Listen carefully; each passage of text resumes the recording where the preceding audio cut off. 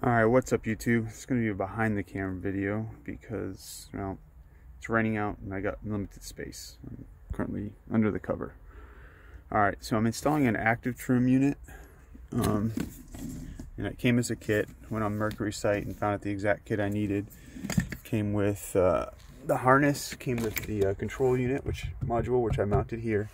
Comes with this wiring harness. This big thing comes off and you've got all these wires what I wanted to show is because this, this was kind of, took me a while to figure it out, which is not very hard, but the instructions aren't very good.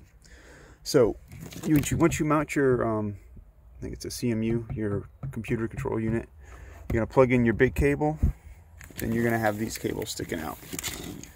Now, the smaller cable is going to plug into the actual head unit. So, this will go into here. Let's do this real quick. Alright, so that'll go into there. Then you've got this uh, J-Box from Mercury. Um, they say you want, the, in the instructions it shows you want a Terminator. Um, so I bought one. Um, the J-Box, I actually paid more for it. I think you get these for like 45 bucks now, and this is probably like 10. Um, it does come with two plugs. Um, I have one on there.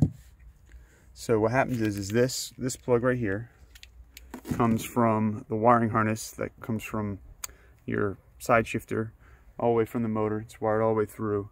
And then it pops out. And uh,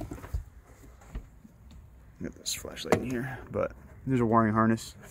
Wraps around. Comes from here. And comes down here.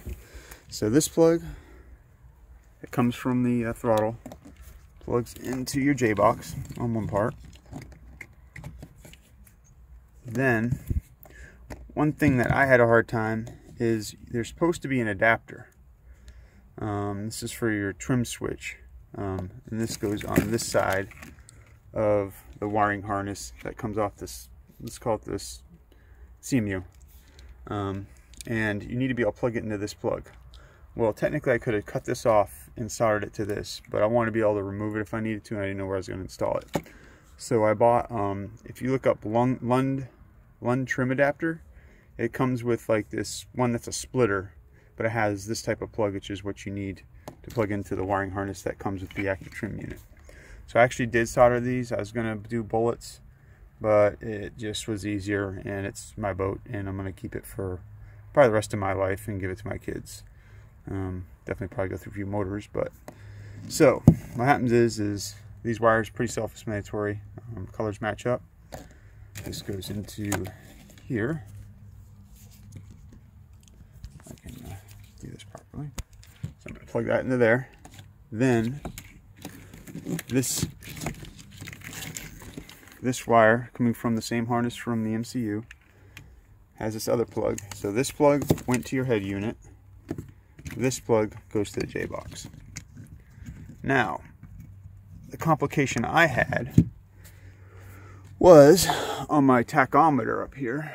This actually has another one of those plugs, which is right here.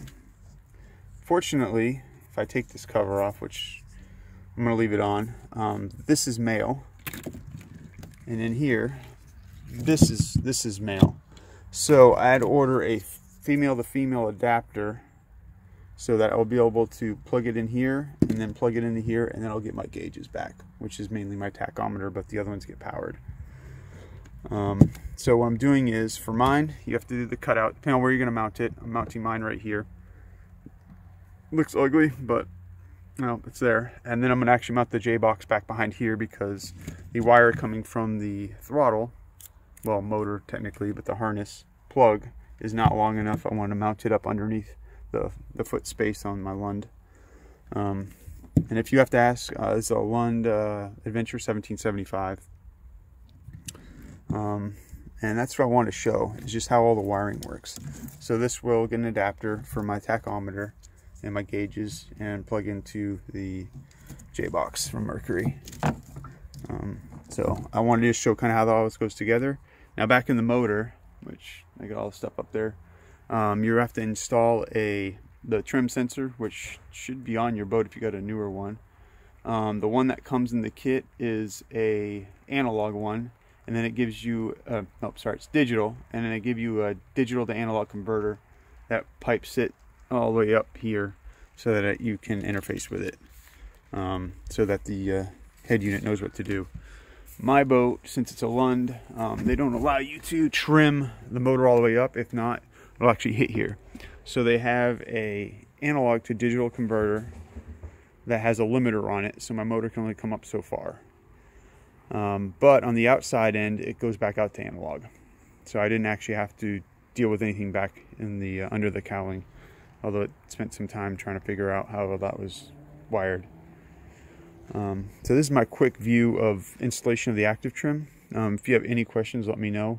Um, I will post a video of me testing it, showing that you know it works before this installation into the uh, sidewall and then um, I'll probably post a video after I get all this together and get all my gauges plugged in and with this J box and get everything working um, as like a final finish project. If you have any questions, let me know.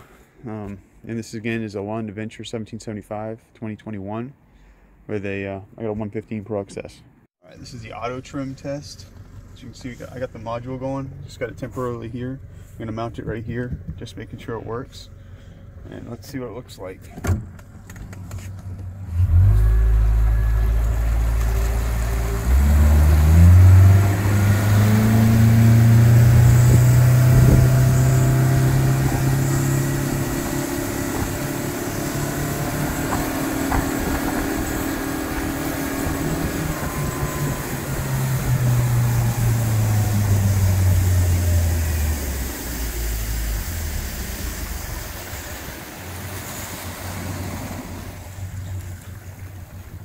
So I've got it finally installed.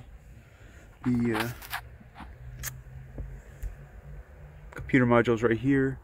Back behind these two are the J-box. And then I've got the wiring zip tied up in this cubby. And then I also have it zip tied here. And then there's another one here.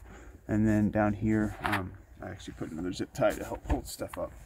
So everything's all tightened away. Um, I do need the uh, one more um, that adapter so that I can get all my stuff plugged in, especially for my uh, RPM gauge. But I'm just going to show you what it looks like when you power it up. Now this isn't the first time because I did go out and test it.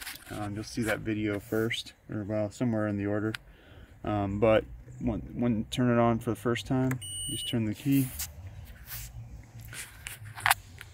And it should come up and they all should be orange. Now when you initially start it up, these will all be flashing.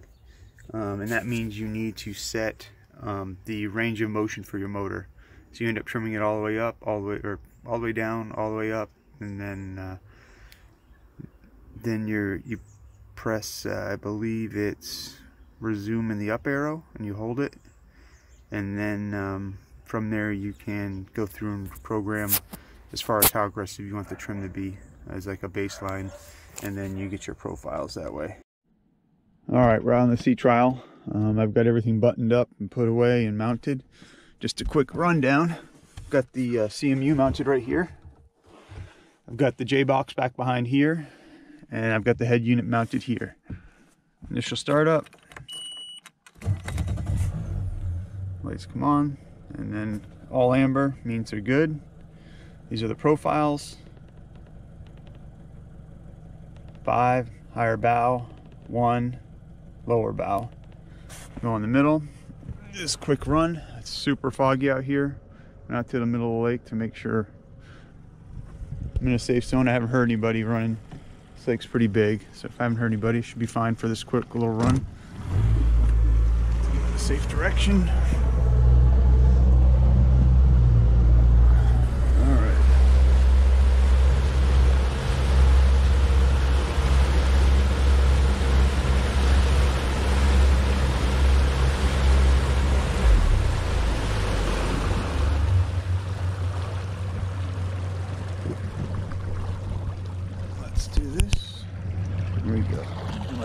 Side shot.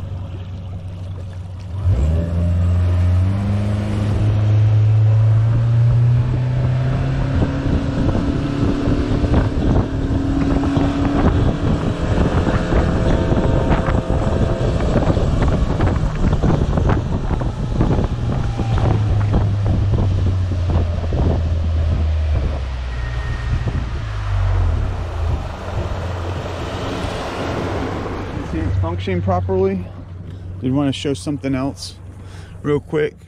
If we're going along and uh, we actually touch the trim button on the handheld, this light starts flashing, which means it disengaged it. So you always have the ability just to go back to manual. Press the on button, it resumes the auto trim or the active trim. Just wanted to say thanks for watching. If this helped you out, just give me a thumbs up. If you have any questions, let me know. You want me to show what needs to be done under the hood, I can uh, do that as well.